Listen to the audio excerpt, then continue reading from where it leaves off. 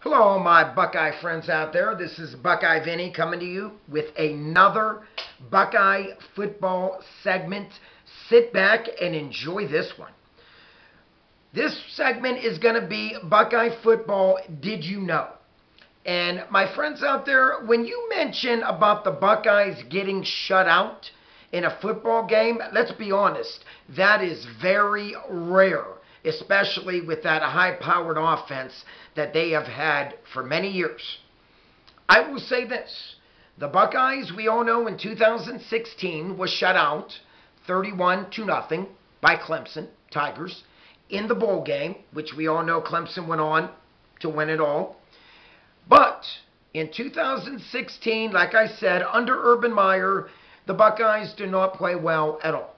They got shut out 31 to zip.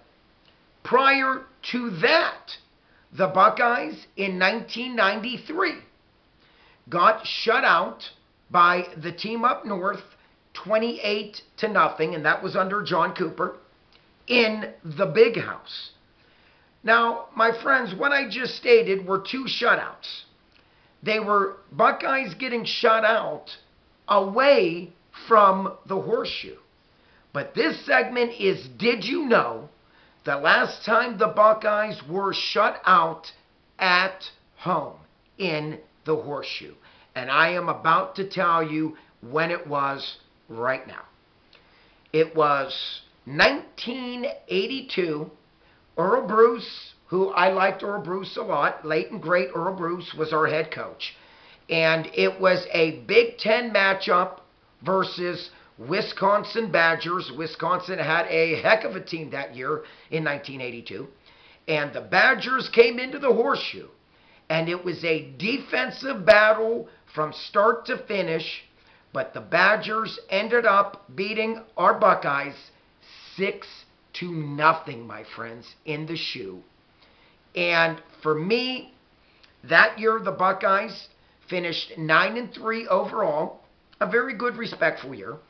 And that was the Buckeyes' only loss in the Big Ten was that day to Wisconsin, six to nothing in the shoe. Buckeyes, like I said, they finished seven and one in the Big Ten that year. And again, Buckeyes do not get shut out often at all, let alone in the horseshoe. So for me to put this segment together was a lot of fun. It really was. And it was always on my mind. I, I, I remember the time against the team up north getting shut out, 28 to nothing. I do remember that. I watched that game. And obviously, I will never forget us getting blown away by Clemson, 31 to nothing, 2016. But it always dawned on me, and I had to go back in the archives and do some homework here. Well, okay, those were two shutout games in a neutral site. But again, when did the Buckeyes ever get shut out at home?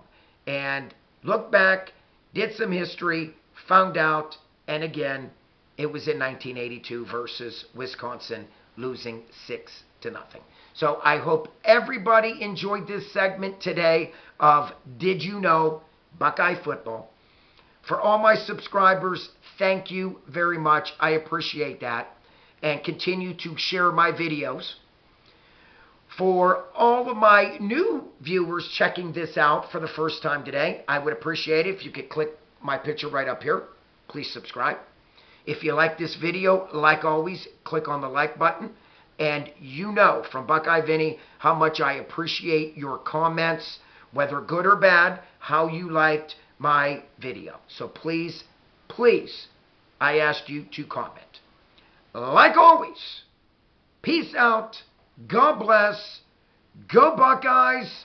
Places everyone. Let's start football.